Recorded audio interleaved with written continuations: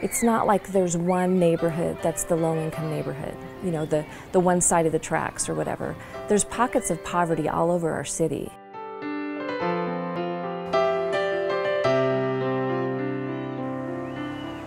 Every now and then, you cry yourself to sleep and think that you're a failure. People are proud. Some of the folks that access my food pantry are people who have donated to our food pantry in the past. I work really hard. I work a lot of hours, I'm smart, I'm educated. It felt pretty awful. I think a lot of parents, their anxiety is, if I say something, will I be in trouble? You know, if I admit that I'm having a hard time making ends meet and getting food, is that going to tip off the school that, you know, then they're going to call CPS or something just because I've said this. And that's not really the case. I mean, we want to, that's why we have this program so that we can say, look at, we've got these resources. I can't let my little girl go hungry. I won't let my little girl go hungry, even if it means swallowing my pride. I went to bed hungry multiple occasions, but my kids didn't.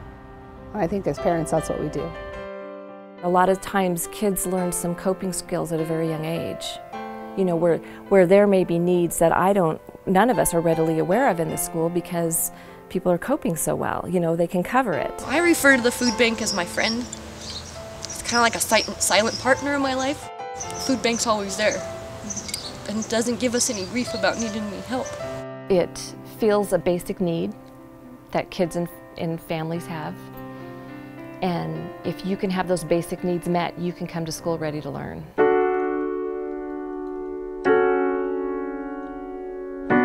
The strongest people are the ones that ask for help. It's the weak ones that think that they can do it on their own. You have to be strong enough to ask for it. Without the donations um, and the great people who help distribute them, there'd be a lot of hungry people here. I'm really grateful that my daughter doesn't have to go hungry. The food bank does a great job. The problem is they can only give us stuff when they have stuff, you know. And there are times when our delivery might be a little bit smaller because that's all that they had to kind of ration out to the different school pantries. There are a million ways to give to the food bank, a million ways to get. You can give fresh fruits and vegetables, you can give money, you can give your time, you can give your energy and effort. Um, there's a million ways to do good by working at the food bank, and it helps a lot of people. A lot of people.